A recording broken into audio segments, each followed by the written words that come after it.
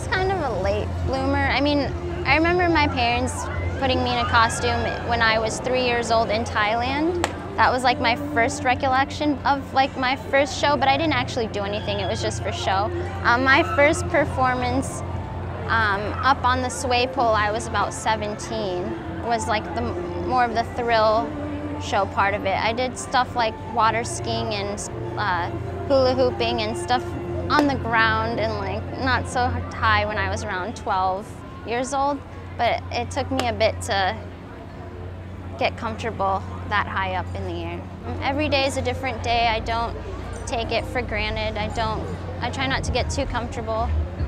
I kind of treat it like it's my first time every time because I, I believe if you get too comfortable, that's when things go wrong.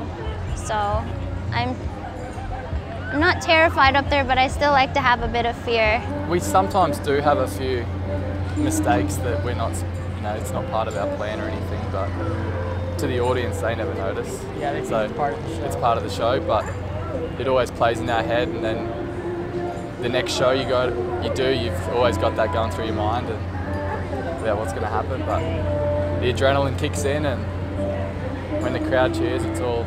You get dizzy. Sometimes you black out. All the G forces blood, taking all the blood out of your brain, so it all get lightheaded once in a while. It gets hot in there. No ventilation You just got to stay really focused and if you go off track one little bit it can yeah be tragic. Please come visit us. We really enjoy performing and we'd love to see people coming out, come say hi to us after the shows we're hanging out. If you guys like to learn more about us, we are on Facebook, Instagram, all that, nervelessnocks.com. Come on out. We're having a great time in Canada and we're almost done here. We have one more stop, so hurry up and come see us before we leave.